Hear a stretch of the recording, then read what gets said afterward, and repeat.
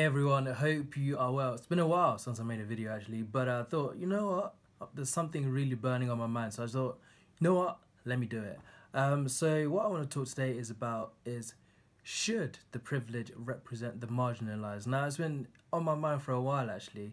Um, so I watched like TV, read articles, watched the news and all that kind of stuff, and um, it's really bothered me that how a lot of people who are going through a lot of, issues right now um, are struggling, and the people that speak for them, do they really understand what they're actually going through? Um, it's all good to have a million followers or so many people that know you, and you occasionally speak out. You go home, live your happy life, and you probably have forgotten about what you're talking about later on, but you looked so passionate about it.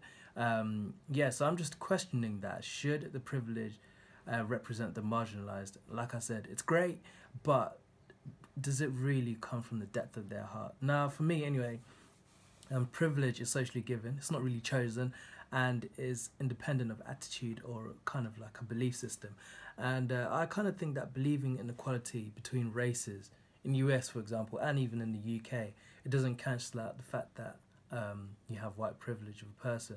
And at the same time, having a structural privilege often leads to certain behaviors through the people you hang around, the sort of things that are normal to you, and the tendency to kind of justify privilege that exists under human society since social strat- stratification started around the time of agriculture. Now, um, white privilege has been talked about amongst many people. Um, it doesn't mean that white people don't struggle, it just means that they have different different struggles or their quality of struggles are different to those of people in other racial groups, um, and which, as white people, are kind of regarded as the default, the default um, group by majority of systems they interact with, and things such as dominant uh, in various fields of sport, television, I mean, movies, Hollywood. Just turning your screen, you'll see lots of white people.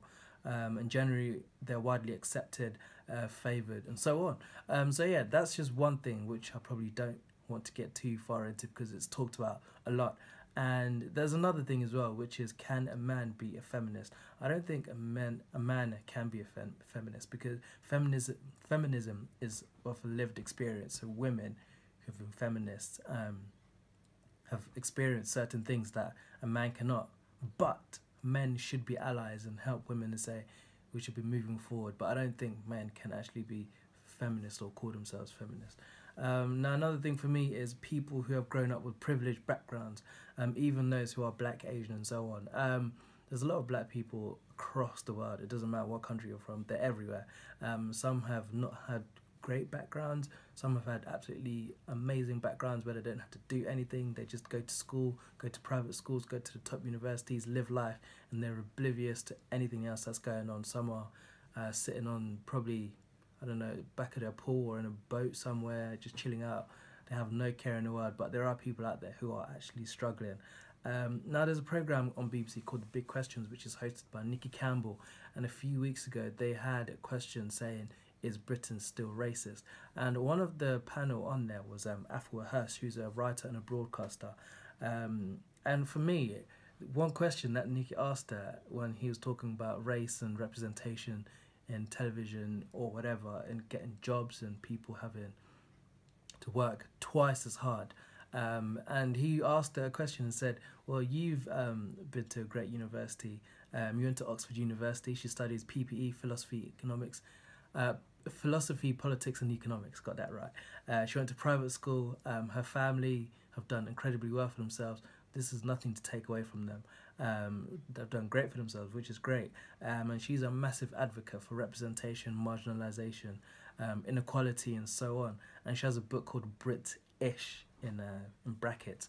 Um, so yeah, she she's on these panels talk about um, the struggle of black people, ethnic minorities, and so on, which are true. But she hasn't really lived that experience of being marginalized because she's had a great upbringing. She's been to Cape. She's been to Oxford University, studied PPE.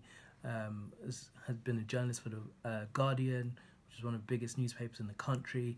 Um, she's had a really, really good career, and that's not to take anything away from her. She deserves it. She's worked hard for it. She's been given positions which have got her to that place.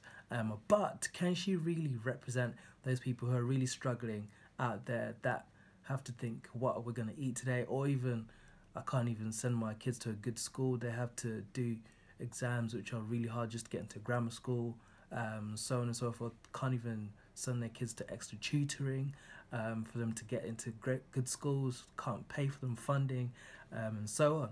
Um, so I, I really thought, you know, that's a really good question. Does she really know what it means for a person who's suffering?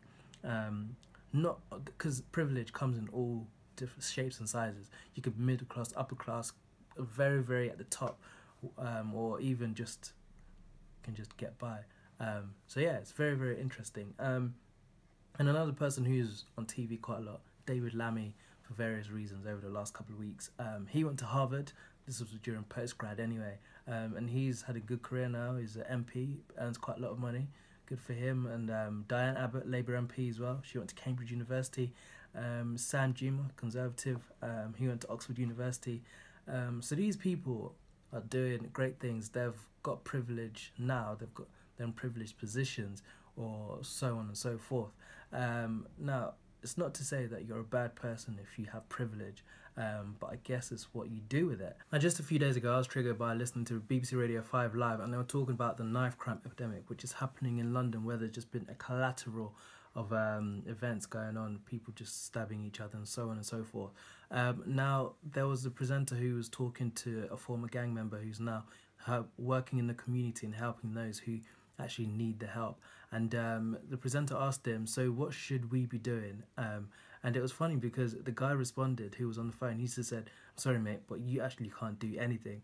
Um, and the reason he was saying that's because he hasn't actually lived a life of gang crime and knife crime and all of that kind of stuff. So he was saying you basically don't understand what's going through with these people because first of all you need to understand the motivation why they're in that situation um, why how they've got there and what can be done to solve that because um, having lived it it's different from being an outsider having perspective of um, just saying oh these people are thugs they're on the road and all this kind of stuff um, they should be doing more things or doing better things with their lives but it's not that there's so much more behind it and he was just basically saying um, it's not going to happen overnight you can't just go on the road and say oh you stop that because um, it's not that's not how that's not how it works. Um, so yeah, it's it's a very very complicated topic. Um, and just as well on Victoria Live, which was on Monday morning, um, she had a Q and A with a, a number of people who are working in the community, former gang members, um, parents who've lost their child. Uh, and so on and so forth. And um, they basically said, well, it's all good for you to do this Q and A, um, but people at home will watch it and they, they don't do anything about it. They'll just sit at home. But we today are gonna go out at four o'clock after this recording to go out into the community. Whether Victoria Derbyshire did that as well, probably not. Um, so yeah, this is the thing. When we have privilege, what do we do with it? Can we really represent those who are marginalised, those who are going through tough things, um, and so on and so forth? Um, even for myself, I know there's so many things. I, I don't know, seeing homeless people on the street, um, helping a friend out who's in need, and all of that kind of stuff. Um, I do have the power to make the change, but sometimes I don't because I'm just caring about myself. And we have to think about humanity. Um, and I know that I should be doing better as well um, to help those people who are in need, who are going through tough times, um, those who have lost their lives, and so on and so forth. Whether it's financially giving up my time and so on and so forth. Um, but yeah, this is just to raise discussion and conversation. What do you guys think? Do you think those people in privilege should be in those positions, like I've touched on earlier on um, with some other people who are in positions which are very, very high up in society? Um, but they go home at the end of the day and live in their massive house, penthouse, drive five cars, have lots of money, can send their kids to private school, which is not a bad thing. Um, like I said, privilege um, is comes in all shapes, of forms and sizes as well. Um, so yeah, let me know what you think. Look at the link below. Um, just uh, share your comment. And as well, I'll be talking about this on my radio show on Sunday on csrfm.com 97.4. You can find me on www.csrfm.com Sunday 5 till 7. If you want to contribute you and you have, haven't had the chance to do it now, um, make sure um, you listen on Sunday. Um, get involved and yeah, see you there and have a good week.